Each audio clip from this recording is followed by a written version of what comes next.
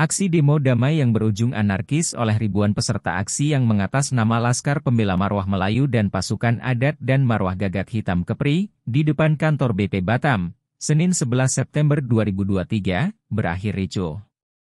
Dari aksi ini, turut menjadi korban seorang polisi bernama Supardi alias Joker anggota polisi Polresta Batam. Sebuah foto memperlihatkan Joker mendapatkan luka di bagian kepala dan mendapat perawatan. Nama Joker cukup terkenal di kalangan masyarakat Batam dan wartawan.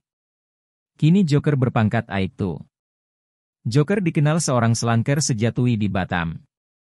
Jejak Joker sebagai selangker ini dibuktikan dengan ikut main film dokumenter perjalanan slang. Ia senang dan takjub bisa terlibat langsung dalam pembuatan film berjudul Metamorpho Blues yang mengisahkan perjalanan slang dari masa terbentuknya hingga sukses terkini. Joker mengakui, film dokumenter yang diperaninya bersama Slang dan Slanker untuk kedua kalinya ini, sebelumnya Generasi Biru, merupakan ajang dalam mengakrabkan diri dengan mengikat batin di antara para Slanker se-Indonesia. Sementara itu, AKP Tigor Sidabaribakasi Humas Polresta Barelang menyampaikan sementara data petugas yang menjadi korban luka atau lemparan pedemo sekitar 21 anggota polisi. Benar anggota kita Joker kena lemparan batu.